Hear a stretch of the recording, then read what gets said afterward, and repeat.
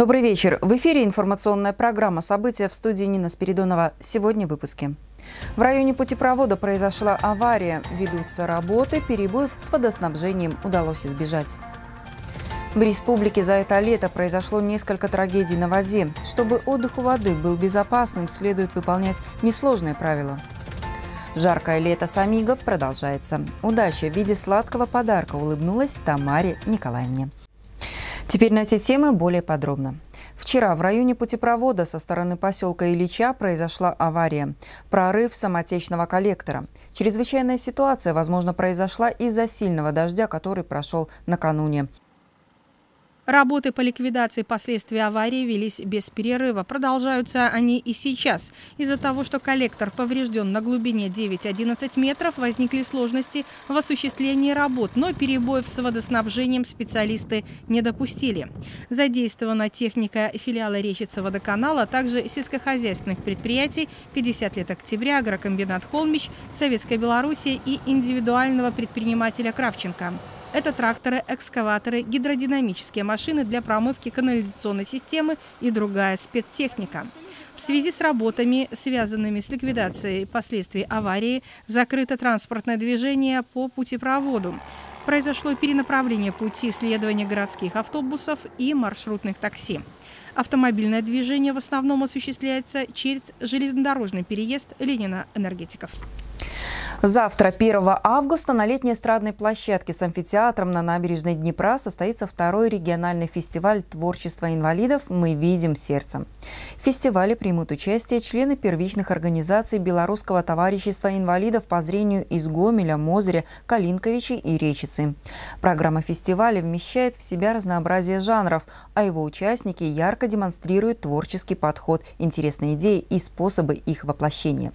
Представители Речицкой первичной организации на суд жюри и зрителей планируют представить ряд разноплановых номеров.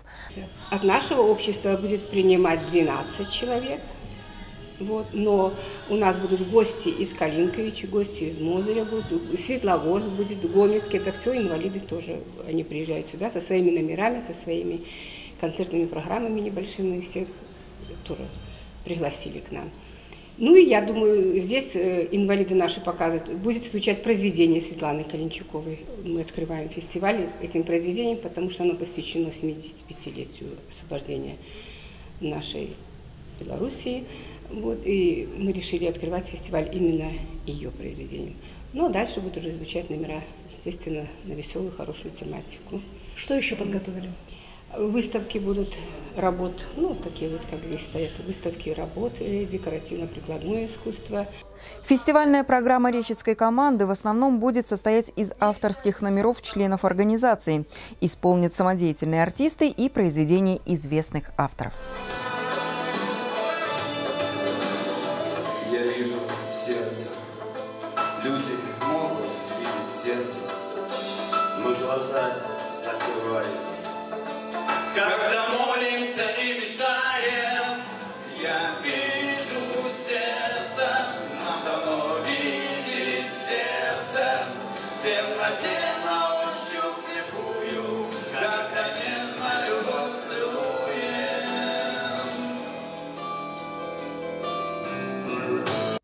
Жаркое лето с Амиго продолжается. Испытать удачу в программе лояльности провайдера стремятся все больше и больше речищан.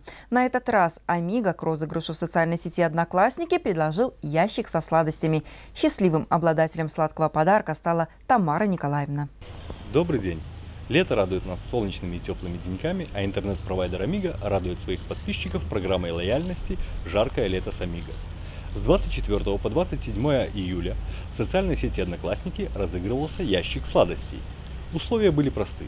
Нужно было подписаться на группу «Амиго Беларусь», либо быть ее подписчиком, сделать репост записи о конкурсе и оставить комментарий под записью «Хочу выиграть».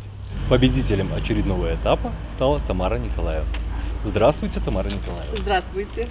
Скажите, пожалуйста, давно ли вы подписаны на группу «Амиго Беларусь»? Через два дня будет три месяца. Очень приятно, что вы с нами. А часто ли вы в конкурсах участвуете? Ну, в таком первый раз. Скажите, а вы являетесь нашим абонентом? Да. А устраивает ли вас качество телевидения, интернета? И телевидение, и интернет очень меня устраивают по сравнению с другими э, значит, э, э, интернет-провайдерами. Качество лучше, гораздо лучше, скорость лучше. Но если бывают какие-то там 2-3 секунды вот, в телевидении заставочка, что там по техническим причинам, и все в порядке. Раз как-то обращалась э, с просьбой, очень быстро было все выполнено. Я Спа- рада, что... Спасибо, что вы с нами. Вот ваш сладкий приз. Участвуйте и побеждайте. Спасибо большое, Это- очень приятно. Это также вам. Спасибо, спасибо, очень приятно. Процветания вашей компании. И Спасибо. успехов. Дорогие друзья, подписывайтесь на группу Амига Беларусь в социальных сетях, следите за новостями и, возможно, следующий сладкий приз достанется именно вам. Кроме этого, интернет от компании Amiga вы можете подключить на тестовый период абсолютно бесплатно. Звоните, мы работаем для вас. В республике за это лето произошло несколько трагедий на воде. Есть утонувшие и в Реческом районе. Причина случившегося – небезопасное поведение. Для того, чтобы отдых у воды не закончился трагически, следует выполнять несложные правила. Летняя жаркая погода всегда тянет людей к водоемам, которых в Реческом районе немало. Отдых на берегу всегда положительная эмоция, однако ежегодно на воде погибают люди. Случаются трагедии из-за небезопасного поведения. Особенно это касается детей. Их поведение во время купания беспечно и уследить за ними очень сложно. Чтобы водоем стал местом приятного отдыха и не принес несчастья и взрослым, и детям следует соблюдать элементарные правила. Случаи утопления э, людей на территории Гомельской области, Республики Беларусь, к сожалению, имеют место быть каждый день. Э, Реческий район, у нас, у нас был также случай, женщина упала в воду, ее в районе набережной реки Днепр, ее обнаружил случайный прохожий, и помог ей выбраться из воды, прибывшие работники освода оказали ей помощь. Э, Женщина осталась жива. Здесь хотел бы обратиться тоже э, к нашим гражданам. Первое, что нужно сделать, это купаться только э, в разрешенных местах, там, где работают спасатели, работники освода. Э, Места, которые не предназначены для купания, туда вообще категорически, наверное, запрещено ходить. Э, Естественно, прыгать э, в воду с трамплинов ни с каких ни в коем случае нельзя. И употребление спиртных напитков у воды категорически запрещено. Если вы находитесь у воды с ребенком со своим, то обязательно они должны, дети находиться должны быть в поле зрения, потому что буквально секунда промедления ребенок окажется в воде, и вы его просто уже не найдете. Поэтому э, будьте внимательны, берегите себя. Спасатели напоминают, что правила поведения на воде необходимо изучать вместе с детьми. Только личным примером можно предотвратить беду. Главное – постоянно контролировать поведение детей и не оставлять без присмотра у водоема. В случае возникновения чрезвычайной ситуации звоните по номерам 101 или 102. На этом наш выпуск завершен. Далее вас ждут метео новости. А я с вами прощаюсь. Всего доброго. До свидания.